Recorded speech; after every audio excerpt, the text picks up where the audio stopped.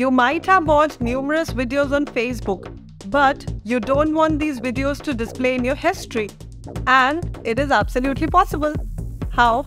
Let me tell you. So for your desktop, open the desktop Facebook app and log in or open your Facebook via web browser.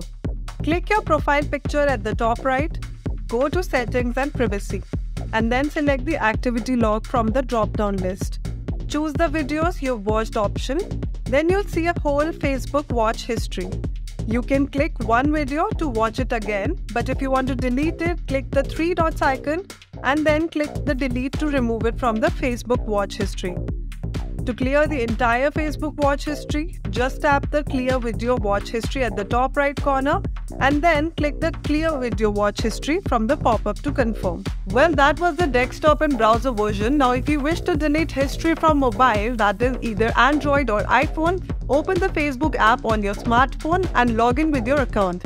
Tap your profile picture with three lines from the right, scroll down and click the settings and privacy, and then privacy shortcuts. Go to your Facebook information section, click access your information. Tap your activity across Facebook, then select the videos you've watched. Then it'll show a list of videos you've viewed recently.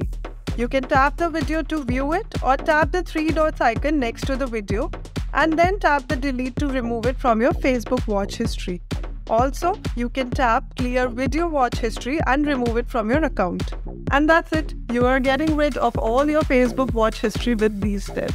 So thank you guys for watching this video. We hope that this has helped you. For more such videos, don't forget to subscribe to our channel.